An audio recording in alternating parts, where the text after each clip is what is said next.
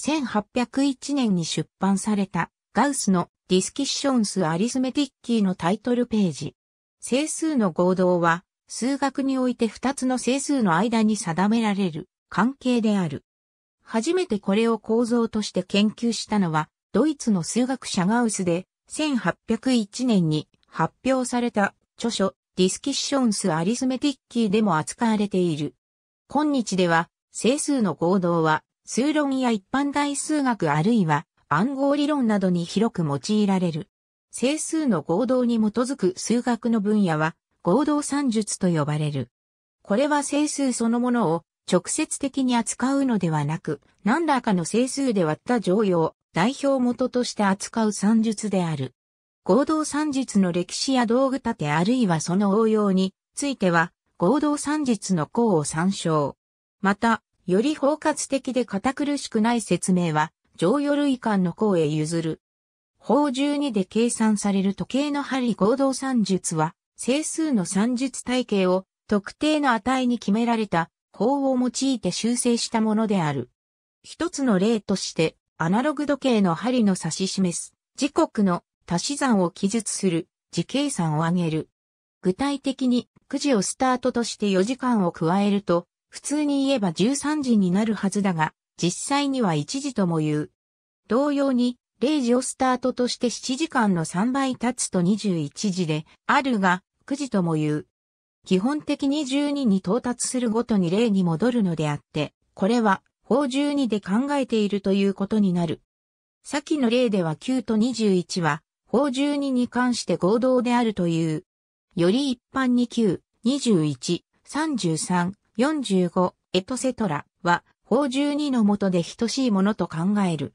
文字盤に任意個数の整数の書かれた時計を想像すれば、一般化は容易であり、計算もできる。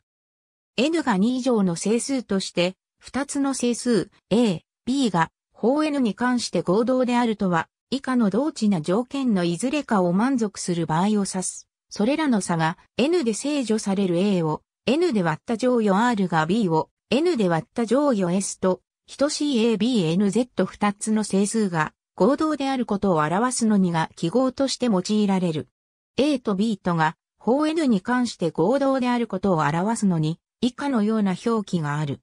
どれも同様に A と B とは法 N に関して合同であるなどと読む。法が N であることは N を法として法 N のもとで法 N でもっと N でなどと適宜表現される。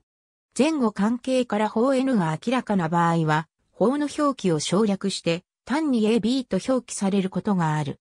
同値率法 N に関する合同という関係は、以下の性質を満たす、すなわち法 N に関する合同という関係は、同値関係である。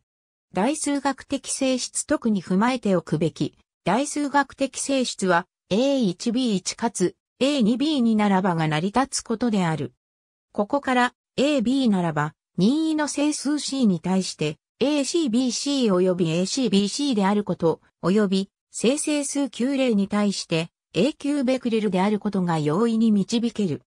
これは、法 N に関する合同関係がある意味で整数の下法及び情報と両立することを示すものであり、法 N に関する合同は有利整数間の構造と両立すると言い表す。これにより小集合、Z、NZ に合同算術の間を定義することができるようになる。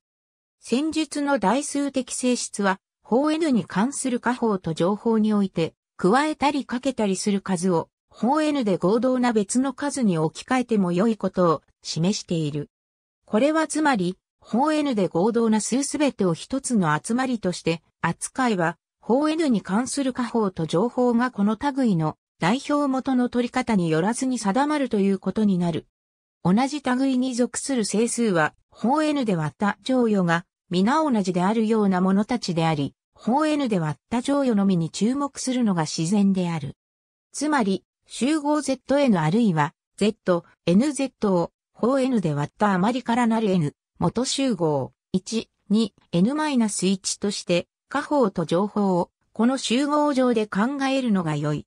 この集合を法 N に関する合同類間、乗与間あるいは召喚と呼ぶ。この集合上での仮法と情報は、整数に関する仮法と情報と同様に定義される、法録に関する仮法と情報を以下のような表にまとめることができる。これら仮法と情報は、整数の集合 Z における仮法と情報によく似た性質を持つ。これらの性質を満足する集合は、間と呼ばれる。Z では常に正当であるにもかかわらず、合同類間 Z、NZ では必ずしも正当化されない操作の一つに簡約がある。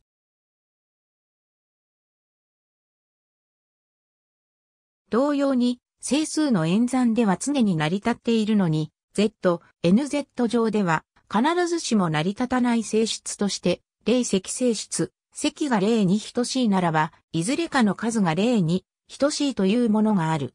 こういった理由により、情報を含む方程式を解くのは少々厄介である。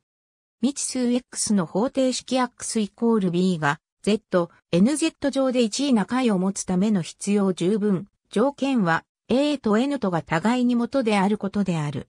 X に A の形の方程式の解は A 及び N の値に依存して0個、1個、2個のいずれかになる。